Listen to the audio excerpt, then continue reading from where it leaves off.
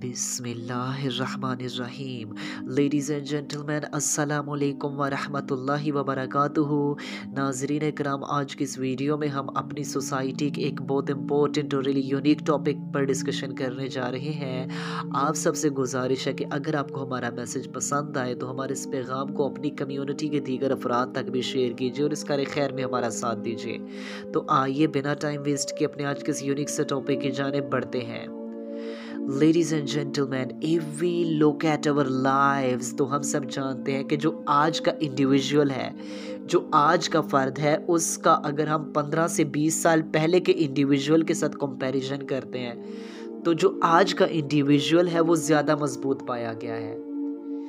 क्योंकि अगर हम देखते हैं 15 से 20 साल पहले का जो फ़र्द था, जो इंडिविजुअल था, उसकी लाइफ की स्टडी करते हैं तो आप देखते हैं कि उसके पास महदूद से वसाइल थे। वो ऑफ़िस जाता था तो बाईसाइकिल पे जाता था।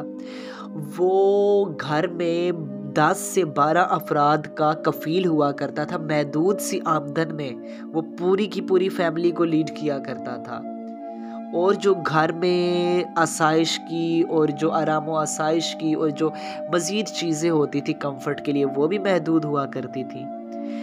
लेकिन आज की अगर इस मॉडर्न वर्ल्ड में आप स्टडी करते हैं इफ़ स्पेशली हम पाकिस्तानी सोसाइटीज़ की ही स्टडी कर लेते हैं। पाकिस्तान अगरचे कोलेक्टिवली तौर पर तो तरक्की नहीं कर पाया। लेकिन जब हम देखते हैं इंडिविजुअल की स्टडी करते हैं, फ़र्द की स्टडी करते हैं तो फ़र्द ने तो ज़ाहिर सी बात है तरक्की की है। इंडिविजुअल ने तो तरक्की की है। आप देखते हैं जो 15 से 20 साल पहले लोगों को सहूलियात नहीं हासिल थी, लेकिन आज के इस मॉडर्न दौर में फ़र्द को वो सहूलतें हासिल हैं। मिसाल के तौर पे 15 से 20 साल पहले का जो फ़र्द था वो बाइसाइकिल पे ऑफ़िस जाता था। लेकिन आज का जो फ़र्द है वो या तो मोटरसाइकिल पर ऑफ़िस जाएगा या तो कार में ऑफ़िस जाएगा या इसके अलावा कोई उसने गाड़ी रखी होगी। इसके अलावा जो आज का फ़र्द है अब जो पंद्रह से बीस साल पहले का फ़र्द था वो आ, अपनी महदूद सी आमदन में पूरी की पूरी फैमिली को लीड करता था। लेकिन जो आज का फ़र्द है उसको आप देखें तो मोस्ट ऑफ़ द टाइम्स ऐसा होता है कि फैमिलीज़ के डिफरेंट पीपल्स फैमिलीज़ के कई कई पर्सनस जॉब करते हैं। कई कई पर्सनस जॉब करते हैं और पहले की नस्बत वो आज ज़्यादा स्ट्रॉन्ग पाए गए हैं। और इसके अलावा आप देखते हैं तो मोबाइल फ़ोन और एयर कंडीशनर्स और फ्रिज वगैरह ईच एंड एवरीथिंग जो पहले के लोगों को मैसर नहीं थी, वो चीज़ें हमें मैसर हैं। ये तो हर हर घर में मौजूद हैं।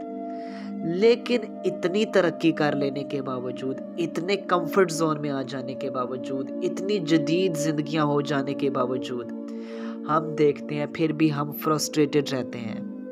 हमारी लाइफ्स में डिप्रेशन बहुत कॉमन है। हमारी लाइफ में एनजाइटी ट्रामास डिप्रेशन फ्रस्ट्रेशन हमें इनर पीस हासिल नहीं है। क्यों? कभी सोचने की कोशिश की है? जस्ट बिकॉज़ कि हम अपनी ज़िंदगी में बहुत इम्पोर्टेंट चीज़ को लैक कर रहे हैं, हमने उससे ही माइनस कर दिया और वो हमारा क्रिएटर वो हमारा खालिक व मालिक अल्लाह जला शान हो है। हमने उन्हों को ही अपनी लाइफ से माइनस कर दिया है। आज हम ट्वेल्व हावर्स जॉब करते हैं, उसके अलावा हम हर लगवियात, हर फजूलियात के लिए टाइम निकालते हैं, लेकिन हमने अपनी ज़िंदगी से अल्लाह ताला को तो माइनस कर दिया है। हम तो उनके लिए टाइम ही नहीं निकालते। हमने हमने कभी सिद्ध के दिल से सोच के ना क्या अल्लाह के दीन के लिए अपने आप को इन्वेस्ट किया है? क्या कभी अपनी औलादों को इन्वेस्ट किया है अल्लाह के दीन के लिए? एक बड़े कॉज के लिए, एक बड़े पर्पज़ के लिए? अल्लाह के दीन की सरबुलंदी के लिए, उसकी इकामत के लिए, उसके नफाज के लिए?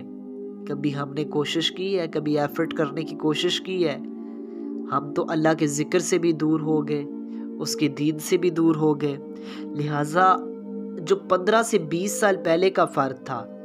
अगरचे सिस्टमैटिक सोच तो शायद उनके पास भी नहीं थी, लेकिन उनका किसी ना किसी हद तक शायद अल्लाह ताला से कनेक्शन था, जिसकी वजह से वो लोग डिप्रेस कम पाए गए थे, वो लोग फ्रस्ट्रेटेड कम पाए गए थे, उनमें टेंशन नहीं थी।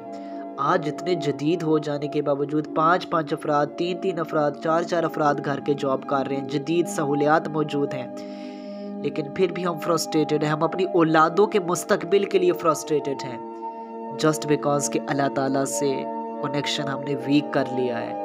हमने अल्लाह से कनेक्शन वीक कर लिया इस वजह से हमें दिलों के सुकून मैसर नहीं है।